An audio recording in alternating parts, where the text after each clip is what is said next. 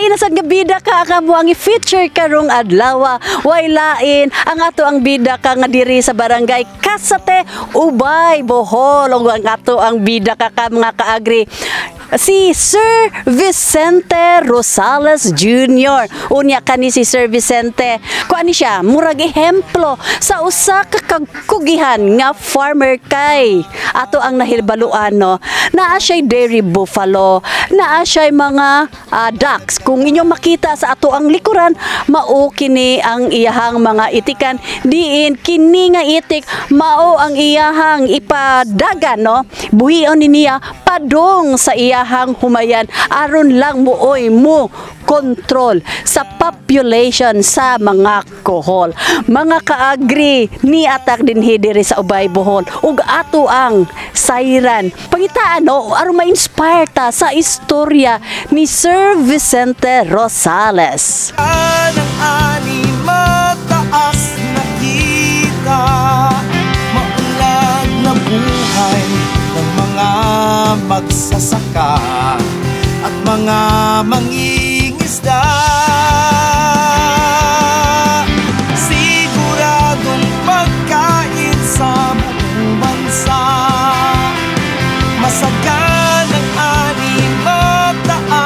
Mga kaagri kauban nato karon ang ato ang bida ka karong adlaw para sa ato ang segment na bida ka unya kauban nato karon si Sir Vicente Rosales Jr. of Barangay Kasate Ubay Bohol. Maayong buntag nimo sir. Maayong buntag po. Isip usa ka ano farmer na and then we all know na ang imuhang main jud nimo nga karon is ah, dairy buffalo. Unya ikaw mo oy ah, na nominate kategoryang na outstanding ah, large ruminants pa- para sa ato ang gawad saka. Sir, ah, giunsa nimo or kanus ka nagsugod og pagpamuhi aning imuhang mga kabaw dairy buffalo? Sa mga 2011, ma'am, mga 2011 nagsugod na mi og kuan kay sa ahong ginikanan, mao gani imong kuan kinabuhi ning panghayop. Mm-mm. Kami kinadaghanan og kanding sa una mga 300 ka pinamong kanding, kabaw, baka. Mm-mm. Mamugoy atong namatan Yes, og buot nya plus ning graduate og agriculture. Ah, okay. Mao na nga murag di na kayo lisod pag kuan kay naa naman nya na kuan po ko isip usa ka bala sa among barangay. Uh, unsa man jud siya ang klase sa rasa sa kabaw na inyuhang gisugod no? Sa una gyud ang among kuan ang breeding namo native ra siya, mga budya kay pandaro mangod og karne akan baligya ba. Oo, oo, oo. Oh, nya karon sa ning zona ning panggatasan mura man og daghan gyud kwarta ang panggatasan. Gamay ra mo gasto ag kabaw kay og na na kay kabaw daan wa na mo kay gasto. Ag imong kuan paglugway na lang. Oh. So unsa may gibuhat nimo sir from the native gi-upgrade nimo siya? Oh, ang ang kuan ni nagpanguwag among ipa-AI. To nang mga bupalo na. Kay Ah, maman siya ta- taas og kuan sa milking, oh milk. Okay. So pagkuan ato siya sir, unsa na may ang ah, katong difference nga nakita nimo in terms sa inyuhang paggatasan? Sa pagkuan, nawa na naglain na lang yun mi og para gamit sa uma. So wala jud siya kasulay ang kani inyuhang mga buffalo og kaning para pangdaro Daro wa bisag kuan gibersahan wa gyud sa kasuwa di kanina ka mao ipaunhon. nag-separate mo og kabaw para lang na na, na lang gyapon kay native kabaw para sa imuhang umahan nga muoy mo daro at the same time naa kay mga ah, Upgraded. upgraded ah, Ah, breeding kanang breed. na kabaw para sad sa imuhang pagatan pero naasag kay pure na ah, buffalo Wa gyud. Kuan ra gyud ah, crossbreed ra. asa masag ka nakakuha aning similya para sa imuhang upgraded Sa kuan na may PCC din na Okay, Philippine yes, Carabao. Center nya dool dool man mis kuan makahibaw bi may unsay mga mga bag-o nga mga teknolohiya nya mm daghan lang kaila kay kanang tigtambong tag training, seminar, meeting ana ba na mga association gani atong ida. pila man ka liters of dairy milk buffalo milk ang inyuhang makuha sa usa ka adlaw Ang kaning crossbreed 4 to 5 na siya liters, per Liters. kuan. Average sa siya per day per day. Ah, Pero once ra na siya di og mo apil kag hapon sobra na. Ah. Pero amo ang gi-practice buntag ra gyud. Buntag ra Oh, siya. buntag. Tapos manual siya Oh. pag-extract sa gatas. Ah, asa dadon sir? Na may kolektor na mo ma'am sa sa co-op sila ra po yung bayad.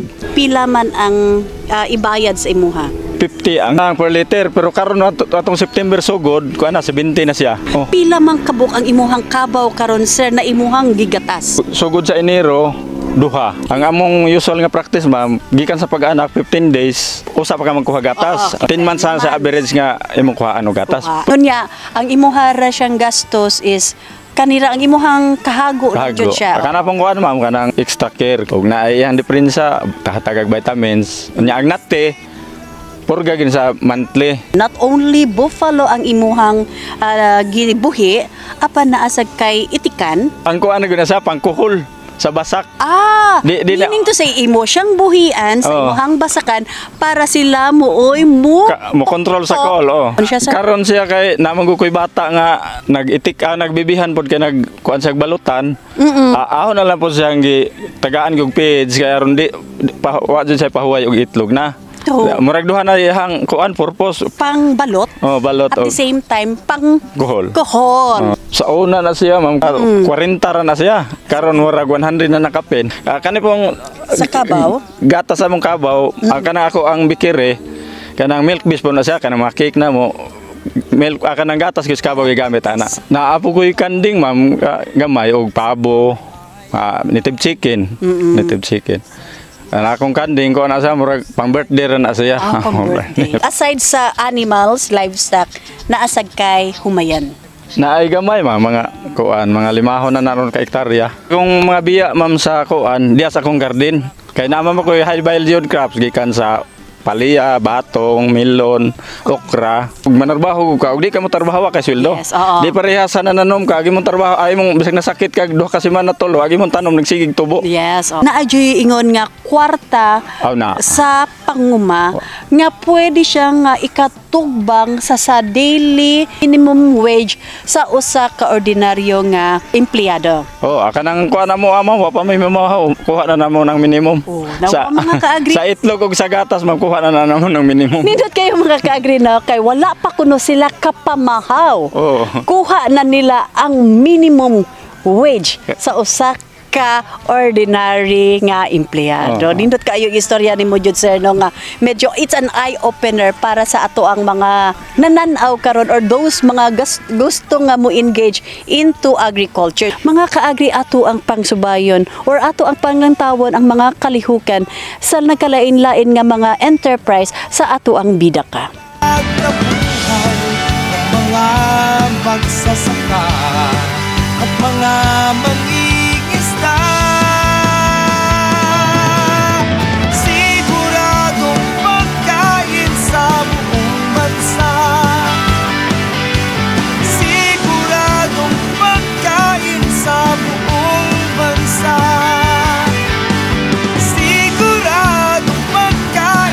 kaagri, inyo hadyong nadungog no ang istorya ni Sir ah, Vicente Rosales. Diin nakuha na to. Daghan kayo tag mga pagtulunan og inspirasyon kabahin sa iyahang ah, livelihood or sa iyahang panginabuhian. Isip usa ka mag-uuma dili lang para sa hayupan ug kundili naasad siya iyahang humayan iyahang utanunan ug ilabi na sa tanan no naad ay siya bakery ang paghimo og mga cakes. So kung ato ang uh, tan-awon ang tibuok value chain sa maong iyahang panginabuhian naadyo din ha mga kaagri. Kay ah, ang iyahang gatas mauman ang iyahang gigamit para sa usa ka value adding sa iyahang produkto which is ang paghimo og mga cakes. Unya mga kaagri nindot sa kaayo ang iyahang ah, kung maghisgot ta og income diin sayo pa lang sa buntag kuha na niya